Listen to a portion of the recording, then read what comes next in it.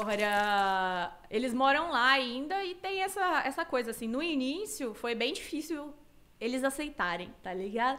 É, tem até uma história famosa, não sei se vocês sabem a história do PPT. Do PPT? É. Não, conta pra gente. É, é o seguinte.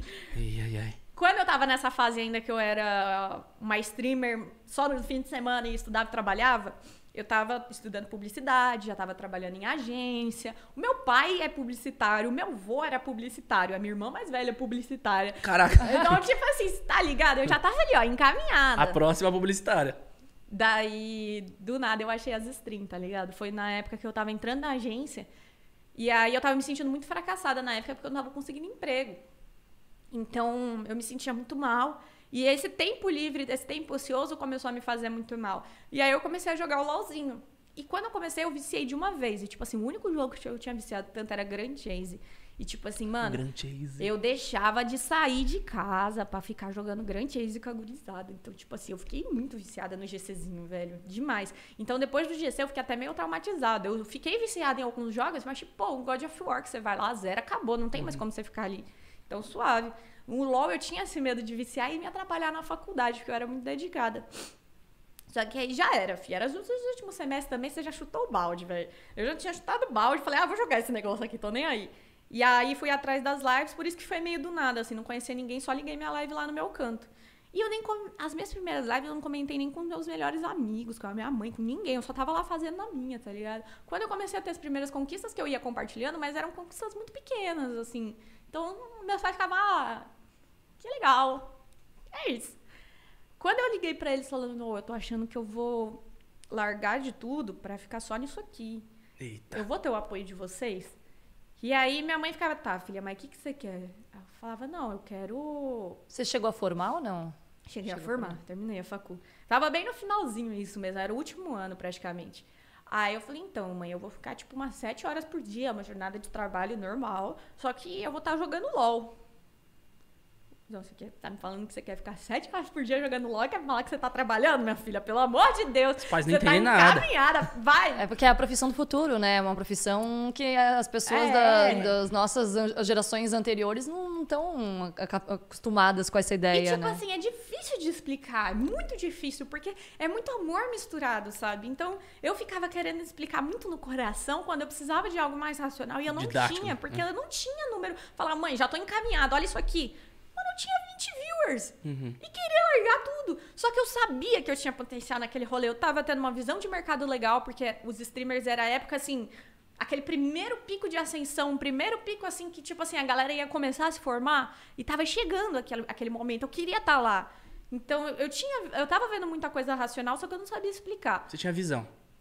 Exato. Aí um dia eu tava no trabalho, assim, e aí eu recebi um e-mail do time que eu tava tentando entrar pra ter um primeiro contrato, pra daí falar, não, mãe, eu tenho um contrato, mano, sério, agora é sério.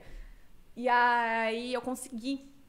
Na hora que eu consegui, eu comecei a me tremer toda, querendo chorar, porque eu não conseguia ficar feliz, porque eu falava, cara, eu consegui, mas eu não sei se meus pais vão me apoiar. E tipo assim, eu não ia conseguir sem o apoio dos meus pais, sabe? Tipo assim, não ia me sentir bem metendo um louco, falando, não tô nem aí, vou sair. Porque eles investiram em mim a vida toda, eles investiram muito em mim. Eu não queria fazer essa desfeita, Pesa, tá né? ligado? Pesa. Aí eu liguei chorando pro meu professor na época, o Mauro.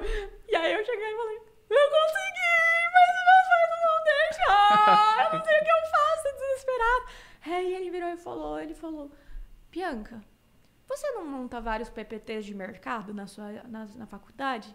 Aí eu falei, monto. Ele, por que, você não explica esse mercado e toda essa visão que você tá tendo pros seus pais? Você fez um PPT pros seus pais, um Voltei PowerPoint. pra agência, ignorei os jobs que eu tinha pra fazer, comecei a montar meu PPT, tá ligado? Desculpa aí, inclusive, aí, meu, meu chefe da agência, perdão aí por ter atrasado uns jobs nessa época, mas foi por um bem maior, tá ligado?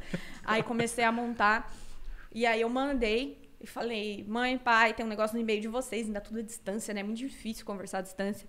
E fiquei assim, era uma parada que me tirava o sono mesmo, assim, tipo, porque quando você acha um- uma parada que te faz sentir amor verdadeiro em, Por em algo viver, que você tá? Aham. faz, Que tá você ligado? acredita, é, né? é, é muito diferente, é uma parada muito única. E eu fiquei obcecada por fazer live. Eu só queria fazer isso, eu só queria crescer nisso.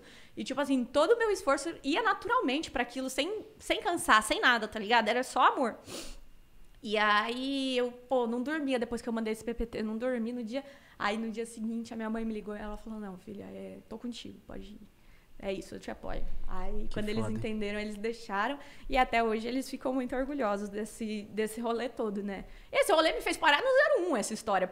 E é engraçado que na época eu vivia aquilo e eu falava, mano, essa parada aqui que eu tô vendo, ela é tão absurda que eu acho que eu vou contar muito essa história ainda na minha vida, tá ligado? E Você contou lá no Leifert. No Contei 0, Thiago- 01, no é, né? 01 Uhum. do Thiago Leifert. Foi muito doido. Demais. Caraca, hein? Num PowerPoint Num você conseguiu PowerPoint, falar mano. o que, que você queria. Que muito louco. Eu, eu você contando aqui eu com um sorrisão, porque foi muito parecido. Eu tive que largar minha faculdade, parar. To... Eu falei, pai, vou, vou largar. Vou apostar nisso. aí. Mãe, vou ficar seis meses nisso. Aí desses seis meses deu certo. Mas aí É. aquilo. E se, né? E se não tivesse? E se isso. Mas eu acho que quando a gente quer, a gente busca com amor, assim, a gente não pensa no e se, porque o e se faz a gente. Ah, e se não der certo? E se nesses seis meses ferrar tudo? E se... Eu não É pensei em nenhum e se. natural. Eu me joguei, você se jogou e esse e se não existe. Eu me joguei. A minha psicóloga na época, ela falava: Olha, você está obcecada. Até a psicóloga mandou essa e fala, acabou, ferrou então. é. Então era uma parada muito fluía. Uhum. Só fluiu, assim. E que bom que fluiu, porque valeu a pena, né? Onde, onde estamos agora, né? Eu fico louca.